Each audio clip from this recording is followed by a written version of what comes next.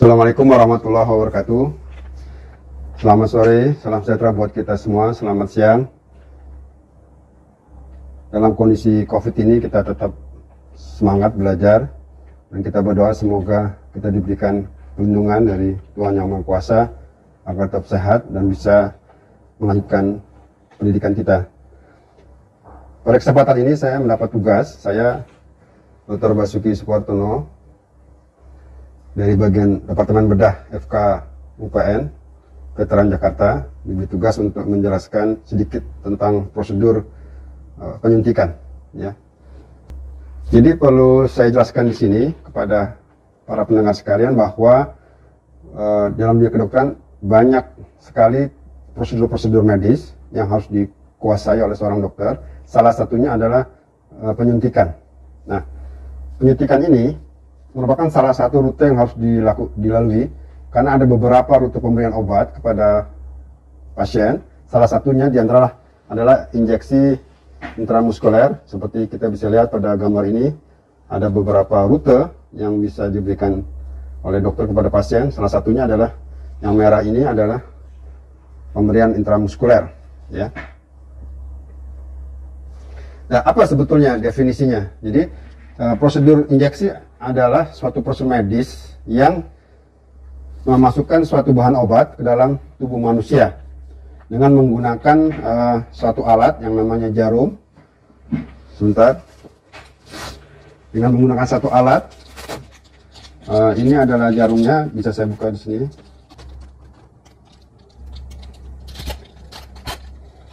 Ini adalah needle dan ini adalah siringnya. Jadi siring adalah tabung untuk menampung bahan obatnya, sedangkan jarum adalah alat untuk menembus penetrasi daripada uh, kulit pasien. Dari sini kita bisa melihat jelas bahwa tindakan ini berbahaya sebetulnya. Tetapi dalam bidang kedokteran, semua tindakan memang punya risiko, tetapi biasanya manfaatnya lebih besar. Oleh karena itu tugas kita sebagai dokter adalah meminimalisir risiko supaya manfaatnya terasakan oleh pasien. Oleh karenanya diberikan suatu pelatihan buat kita, buat para calon dokter dan kita semua untuk menguasai prosedur ini dengan sebaik-baiknya agar tindakan ini bisa aman buat pasien.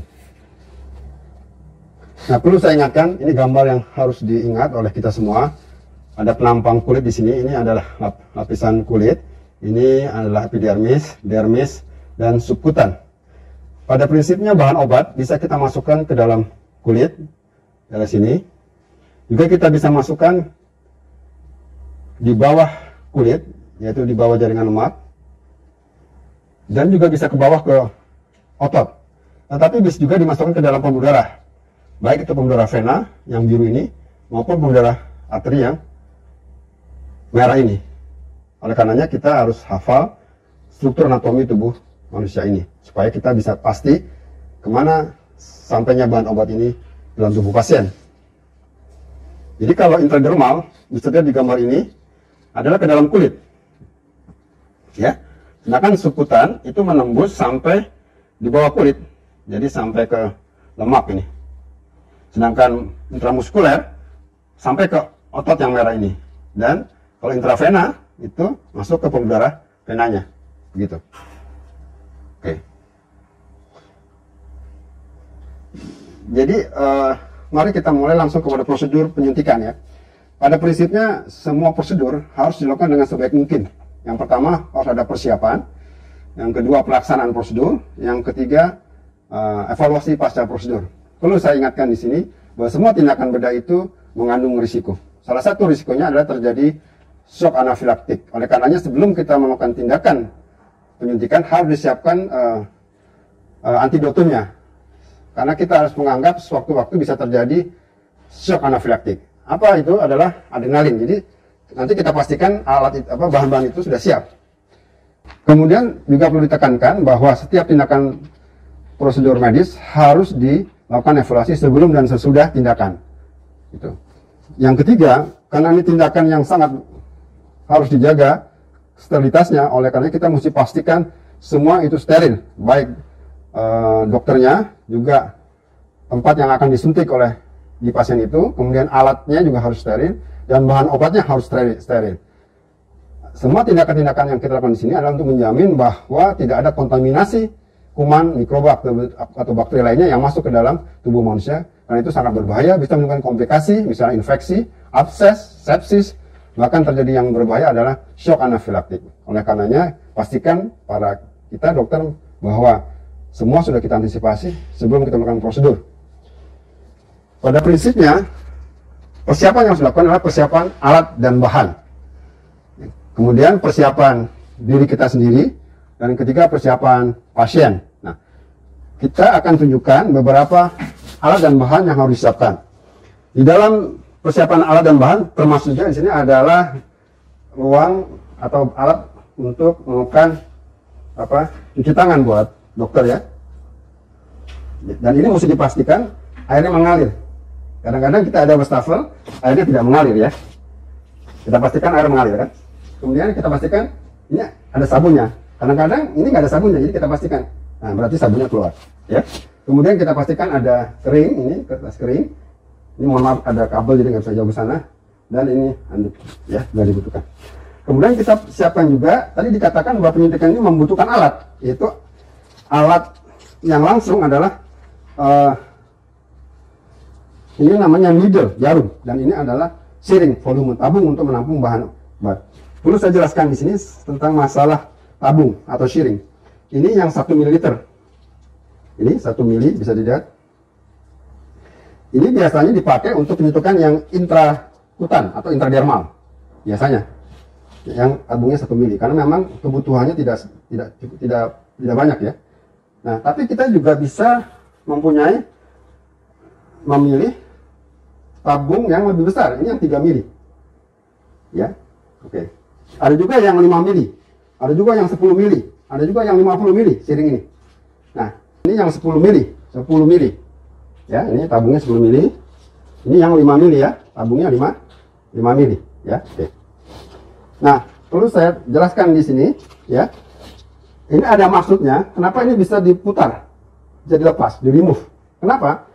mungkin saja kita menggunakan needle ini kita ganti. Ini needle yang memang biasanya terpasang di siring yang satu mili. Ya. Ini kalau kita lihat, uh, perlu diperhatikan ini ada bevelnya. Kalau kita nanti melakukan tindakan prosedur, ini biasanya di atas, tidak menghadap ke bawah tapi menghadap ke atas bevelnya ini. Ini bisa disorot bevel ini. Nah, ini untuk yang biasa digunakan untuk yang intradermal, ya, uh, ke dalam kulit. Tapi boleh aja kalau kita mau. Ini yang 3 mili, yang 3 mili biasanya needle-nya yang ini, gitu. Inilah keuntungannya kenapa ini bisa dilepas. Boleh saja kita menggunakan tabung yang 3 mili dengan needle yang 1 mili ini. Kenapa? Mungkin pada bayi yang takut kita mau suntik sukutan karena ini biasanya menggunakan digunakan untuk sukutan, tapi anak-anak bayi khawatir disunat ke lihat besar, kita pakai needle yang kecil. Karena sukutan biasanya digunakan juga untuk tindakan uh, bis lokal pada sirkumsisi atau kita. Ini gunanya ini bisa dilepas ditutup. Ya. Pun nanti kalau kita kita membuang, membuang uh, sebagai ini disposal, ini harus ditutup. Tutup. Ya jangan sampai terbuka. Ya, kita lihat ini, kita saya, saya balik ini biasanya ini di sini saya putar. Jadi panjangnya ini tertentu dan nomornya tertentu. Ada ini 20 23, nanti ada 24, 25, 26, 27. Makin besar nomornya itu dia makin kecil lubang bevelnya tadi itu.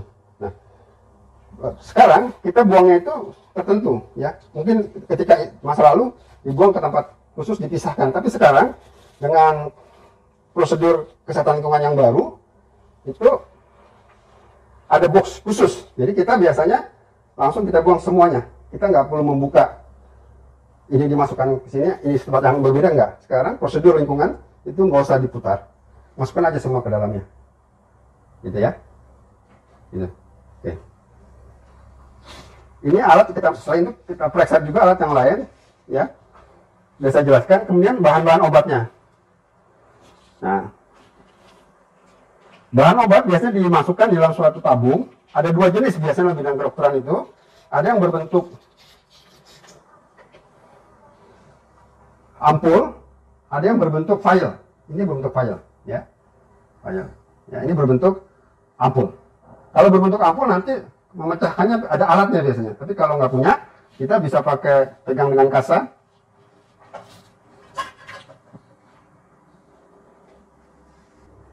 Lalu kita pecahkan di lehernya.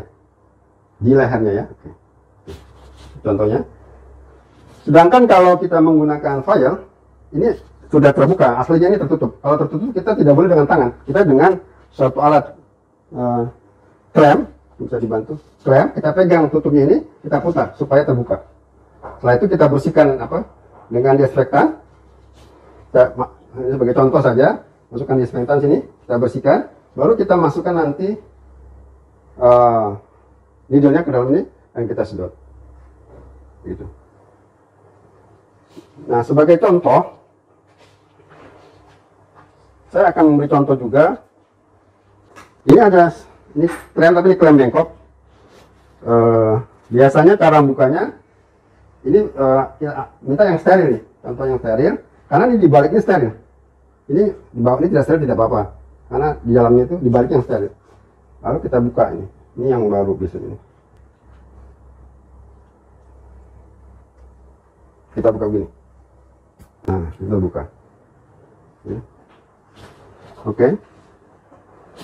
Nah kalau yang file ya tadi kita putuskan. Oke. Nah bagaimana prosedurnya kalau kita mau mengambil uh, cairan di dalam file?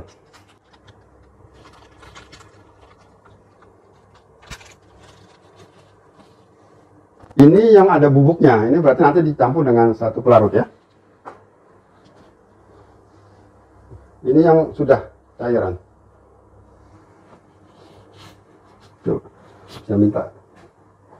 Mau ngasih contoh ini mana ada file? Kosong kelihatannya ini ya. Nggak ada isinya.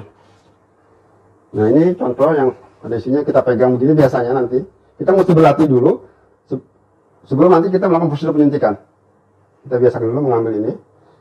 Ini kita pegang dengan tangan kiri. Ini berlatih dalam kondisi tidak steril nggak apa-apa. Nanti kalau udah terlatih tentu semua dengan kondisi steril. Ya kita masukkan sini. Kita sedot.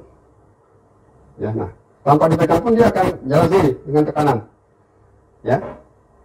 Gitu.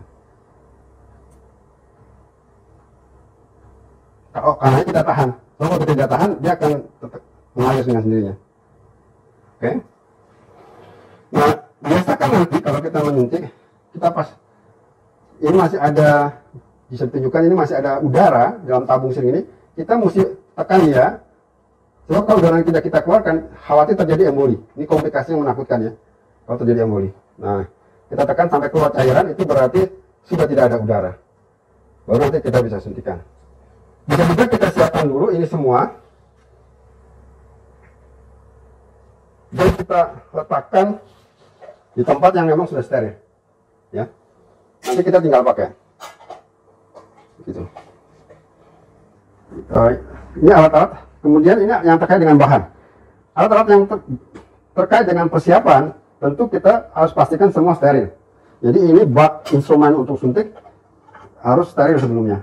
Karena untuk meletakkan sesuatu yang steril. Ini bak instrumen suntik, ini steril. Kemudian kita siapkan juga uh, suatu bak yang di dalamnya ada handscoon yang steril, ya, yang steril ini, dan ada kasa yang steril. Dan pastikan apakah kita bisa bekerja sendiri atau kita membutuhkan asisten. Saya biasanya menggunakan asisten karena lebih aman buat pasien dan lebih baik buat kita sebagai dokter. Uh, ada apa? Ada asisten karena itu menjamin transparansi juga kita. Kita tidak boleh berdua dengan pasien, jadi ada pihak ketiga yaitu asisten kita sambil membantu persiapan untuk tindakan penyuntikan. Ya, jadi disiapkan bahannya boleh, atau nanti bahan dipegang oleh asisten mereka yang menyerahkan kita mengambil tapi dengan syarat semua ini sudah steril demikian persiapan alat dan bahan